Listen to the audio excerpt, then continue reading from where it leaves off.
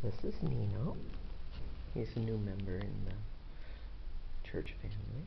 He's very friendly and also camera shy.